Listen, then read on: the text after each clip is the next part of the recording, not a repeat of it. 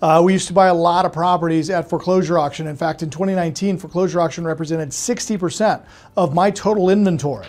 In 2020, foreclosure auction represented less than 3% of my total inventory.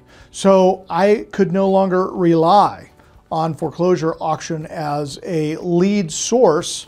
So we had to get creative and start finding some other opportunities.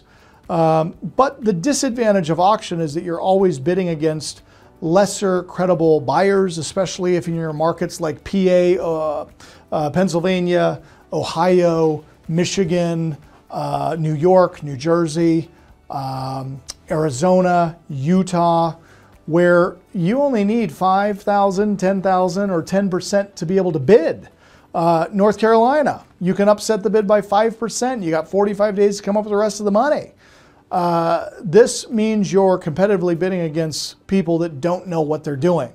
And you will never pay more to buy something than when you're bidding against emotion.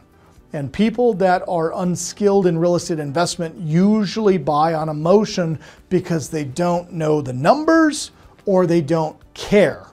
And it's usually the latter because they just want to buy a house so badly because they want to impress Chip and Joanna Gaines and send the before and after pictures so they can see, Joanna, we used your paint. Ah.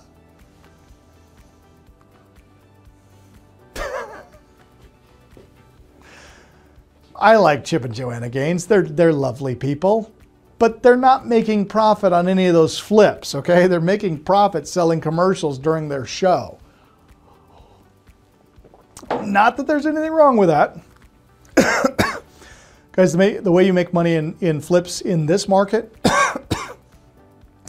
you buy quality inventory in good locations, you pay premium prices, you do as little as possible, you get it back in the market as fast as you can, and you, you plan on 10 to 15 to $20,000 hits.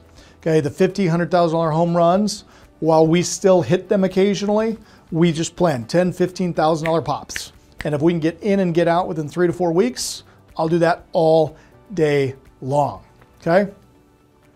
So with auction out of the picture, I now have to go through the back door to get these properties. Before they go to auction, I have to get them before they land on popular pre-foreclosure lists and I have to get them before they land in the hands of other investors. So how? Well, I find the trends and I make them my friends, okay?